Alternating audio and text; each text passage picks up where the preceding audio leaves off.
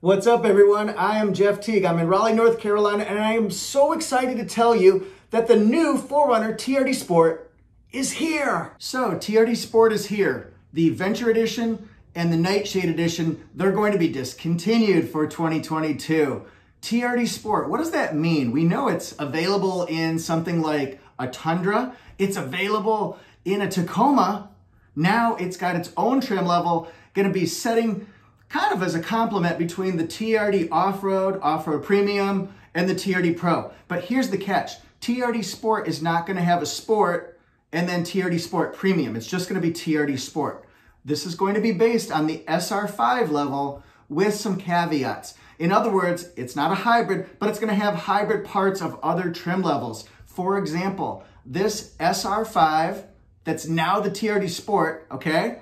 It's gonna have Softex seating, black Softex seating with gray accent stitching. And you'll see that all the way throughout the whole cabin. It's gonna be available in two-wheel drive or four-wheel drive. So in a way, by having that soft Softex, that's what you see on a premium for 2020 and 2021, those type of things. Now, it's going to be swapping out those 17-inch SR5 wheels for 20-inch accented wheels. When I say accented wheels, I mean dark gray accents. So we've got the limited model, which is gonna have the 20-inch chrome wheels. And before, of course, we had the gloss black nightshade wheels. Not anymore, mister. We have 20-inch dark gray alloy wheels. They're really cool looking. And yes, before anyone addresses the elephant in the room, my backdrop here, I use backdrops. It's not a real modern, futuristic, awesome studio that I'm in.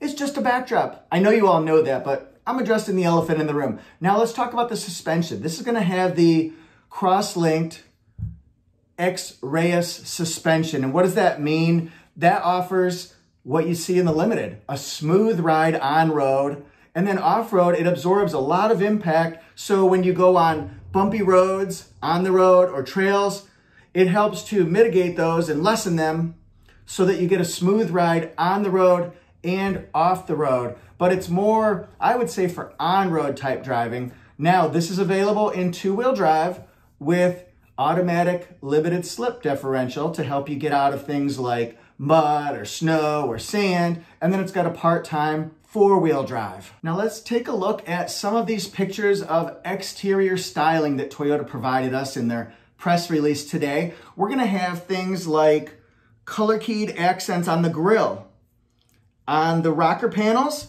and body molding. Then we'll also see TRD Sport is going to be having a hood scoop. Of course it's gonna have it, it's a TRD Sport, right? Why would it not have the hood scoop? What's the deal with that? See, to me, the grill is kind of cool because it's got accents, sort of like a, looks like a honeycomb type grill along with horizontal slats.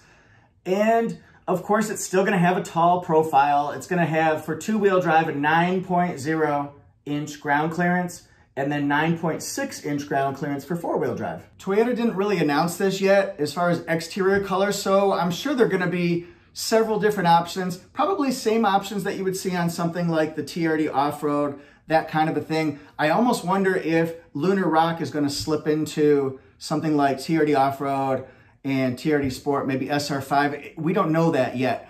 Uh, but what we do know as far as color is it's going to have black roof rails up top, raising the roof rails, raise the roof rails. Some other things to look out for, you're gonna notice a leather wrapped steering wheel. You're also gonna notice the Softex seats with TRD headrests and also the mats are gonna be special TRD sport type mats. You'll also see on these seats, heated front seats as well. Now, some staples, we'll call it, of 4Runner, it's gonna have 8-inch multimedia touchscreen. You'll be able to play your Apple CarPlay, Android Auto, Amazon Alexa. It comes with a three-month trial of SiriusXM. It's gonna have rear air vents.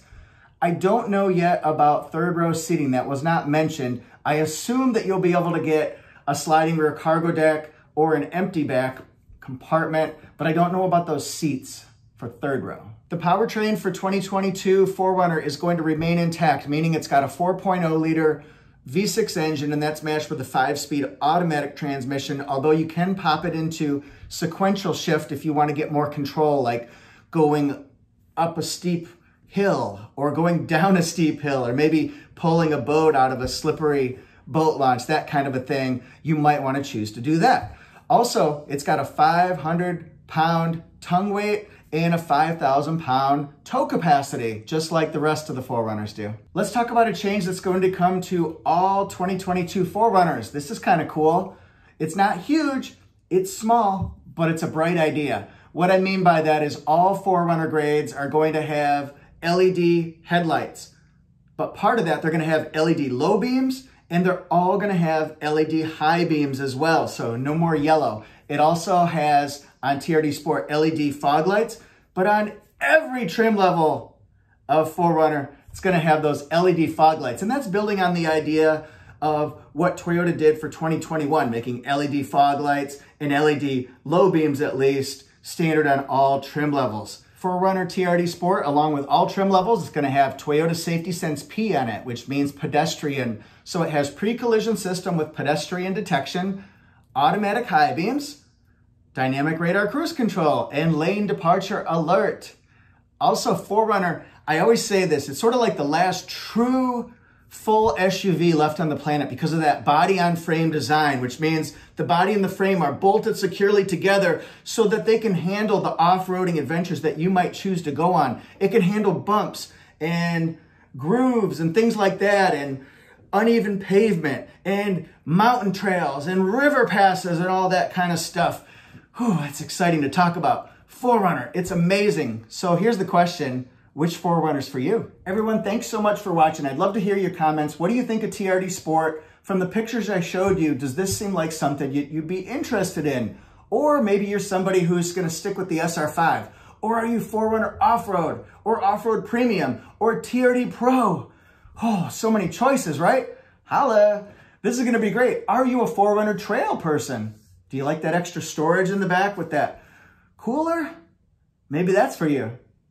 Anyway, please follow Toyota Jeff YouTube channel. Just hit subscribe because I'm going to let you in on all the running updates, all the news, all the developing stories. We've got a big press conference by Toyota tomorrow. I'm sure they'll talk about 4Runner TRD Sport. Well, at least I think so. But they're also going to be talking about a new model that has not come to the US yet. That's exciting. We're also going to talk about a redesign and hopefully some more news. I'm hoping that we'll hear something about either Tacoma or Tundra or both. What are you most excited about hearing? Tell me about your 4Runner preferences. Thanks everyone so much, and I will see you next time. Peace out. Namaste.